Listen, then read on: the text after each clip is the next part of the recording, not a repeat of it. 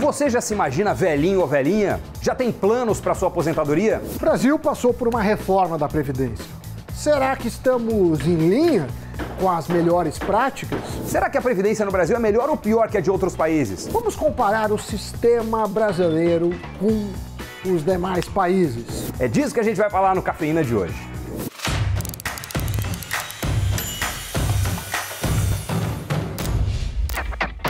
Amiguinhos e amiguinhas, mais um megafone quebrado, mais um cafeína iniciado, mais uma obra nesses estúdios.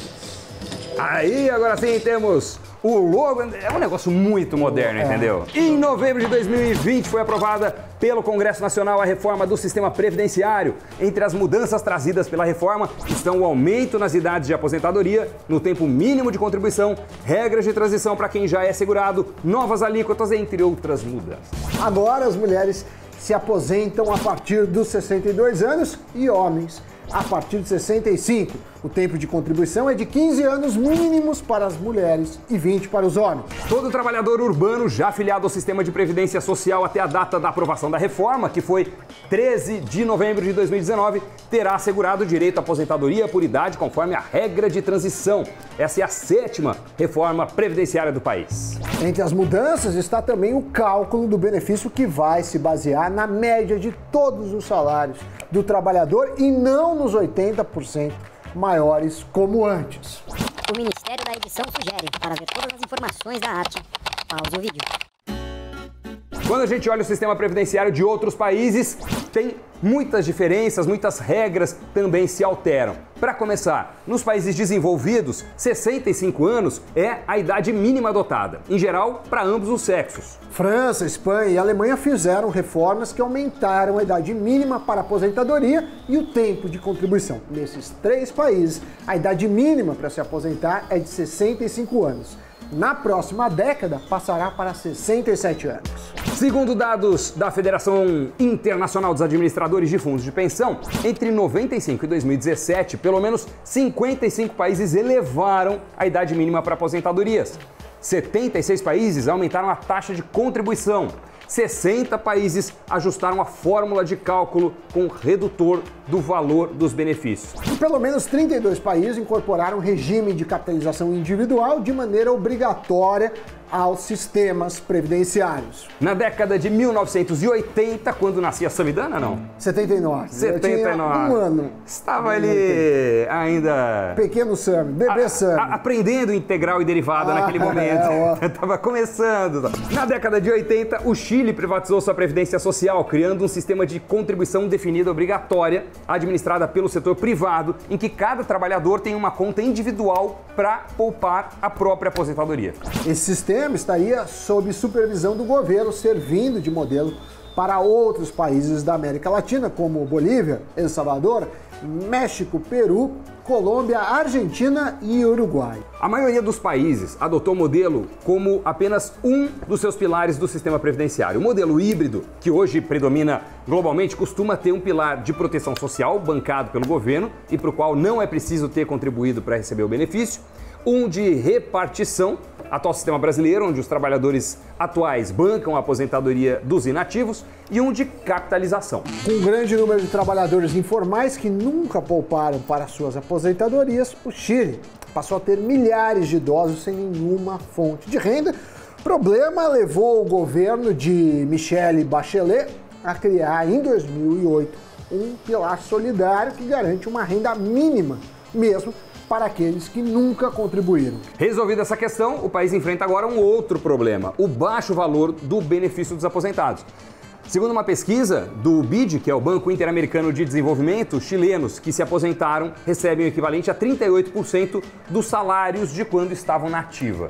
No Uruguai e na Costa Rica, o modelo é misto, no qual tanto o Estado quanto a iniciativa privada atuam de maneira complementar na Previdência. Já a Argentina, Doni, privatizou sua Previdência, mas em 2009 desprivatizou, ou seja, restatizou, voltando ao sistema de benefício definido com todas as contas. Inglaterra, Nova Zelândia, Hungria e Polônia. Esses países têm um componente de capitalização obrigatório nos seus sistemas híbridos. Nos latino-americanos, Peru, El Salvador e República Dominicana, a capitalização também é obrigatória.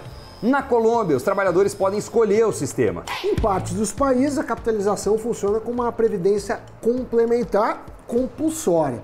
Para estimular o trabalhador a poupar em suas contas individuais, os governos têm estabelecido um teto baixo para o benefício do pilar de repartição, o que ajuda também a reduzir os déficits previdenciários nos países.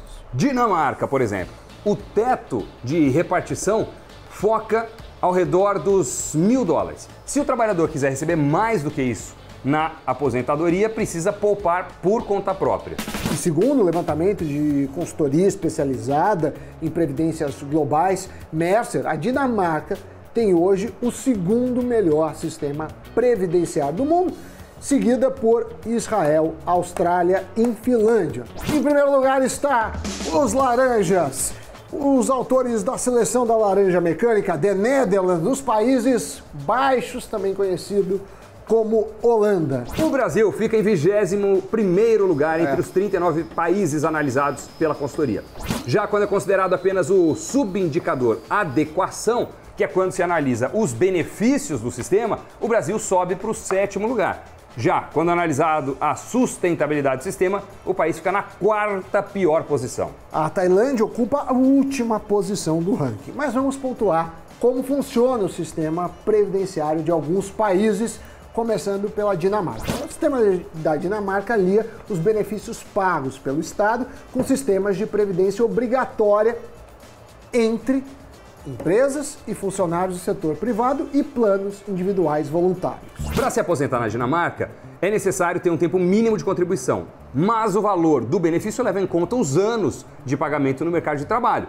Entre 2024 e 2027, a idade mínima de aposentadoria vai crescer de 65 para 67 anos o sistema de aposentadoria dinamarquês é considerado, por muitos especialistas, um dos melhores do mundo. Em Portugal, por exemplo, a idade mínima para se aposentar é de 66 anos, tanto para homens quanto para mulheres sendo funcionários públicos ou não. Em Portugal, o valor da aposentadoria é calculado de acordo com o salário do trabalhador ao longo da vida. Trabalhadores com 65 anos ou mais que permanecem trabalhando tem diminuição da contribuição previdenciária como uma forma de incentivar a permanência no trabalho. Na Argentina, a idade mínima para se aposentar é 60 anos para as mulheres, 65 para os homens.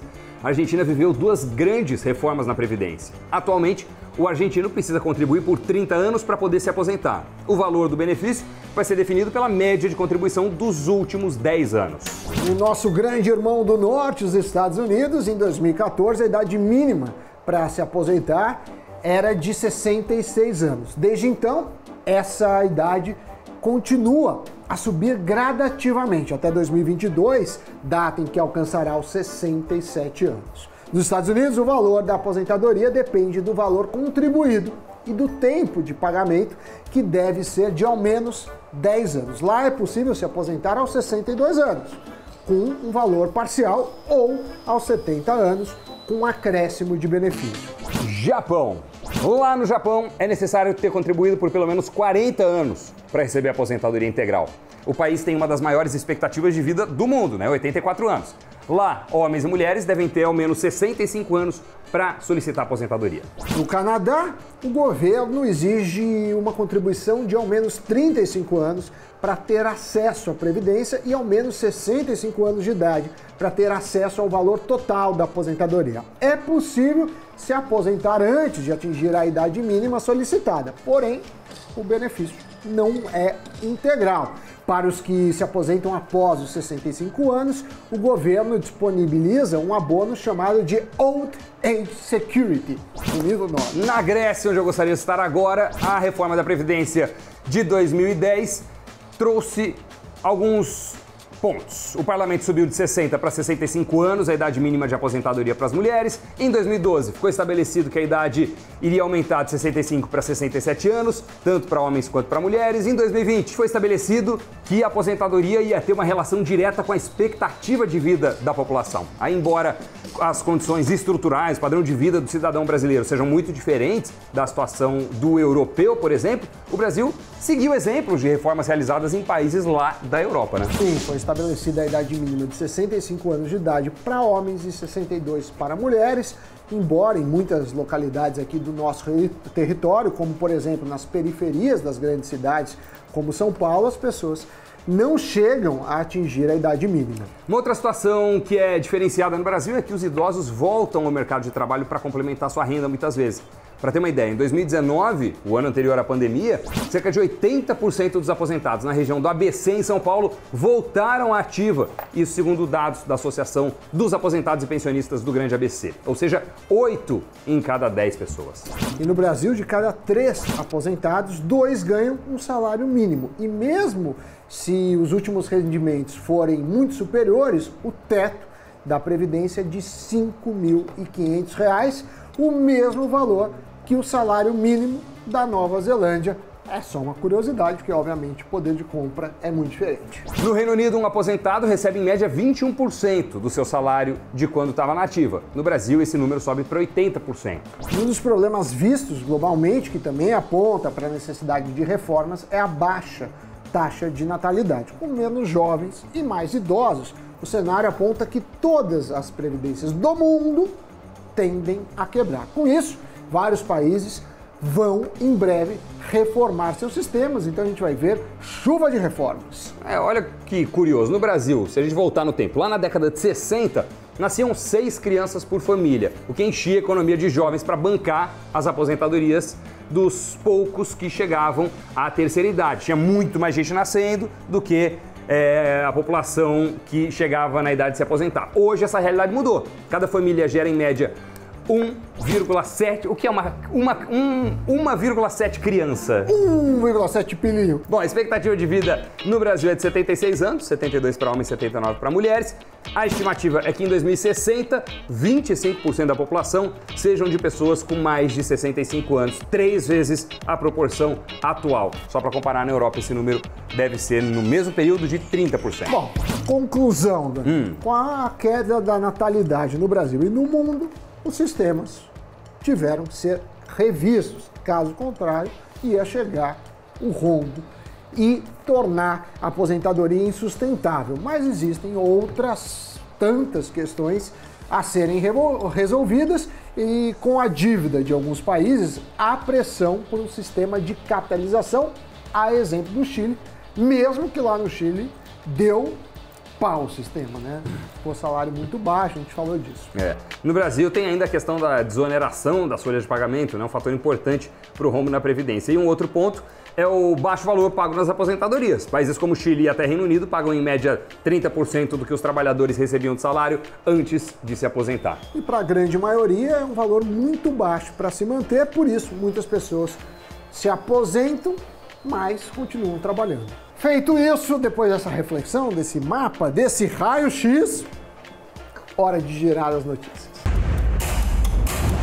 Você sabe qual é o time de futebol mais valioso do mundo? Segundo a Forbes, o Barcelona lidera o ranking dos 20 times mais valiosos. Avaliado em 4,76 bilhões de dólares, o time catalão desbancou o Real Madrid. O primeiro lugar estava monopolizado entre duas equipes nos últimos 16 anos, Real Madrid e Manchester United. Os 20 times de futebol mais valiosos tiveram um aumento no seu valor de 30% em relação a dois anos atrás. O salto ocorreu mesmo com o declínio da receita causada pela pandemia. E o governo espanhol aprovou um plano para gastar 800 milhões de euros até 2023 para incentivar as vendas de carros elétricos. Os compradores teriam direito a subsídios de até 7 mil euros por carro. O subsídio será maior para empresas que comprarem frotas para usar como táxis em pequenas cidades. O esquema de bônus começará neste sábado. A canadense Telesat lançará uma constelação de satélites de baixa órbita terrestre para fornecer banda larga global de alta velocidade a partir do espaço. Isso coloca a empresa de comunicação por satélite fundada em 1969 contra dois bilionários pioneiros, Elon Musk e Jeff Bezos. A empresa estima que os custos envolvidos nos projetos serão bem mais baratos do que o dos dois bilionários. Cafeína chegando ao fim, Sammy Boy. Estamos no terceiro episódio desta nova versão e você pode contribuir com a construção do Cafeína que está Sim. em obra. É, cafeína em obras. Então você pode sugerir elementos, cenário, pautas, coisas que vocês gostam do programa, coisas que vocês não gostam do programa para a gente retirar. Enfim, críticas, elogios, sugestões são sempre bem-vindos. Dê seu comentário, like, compartilhe e vamos trabalhar porque essa obra aí tá, tá demorando, hein? Tchau.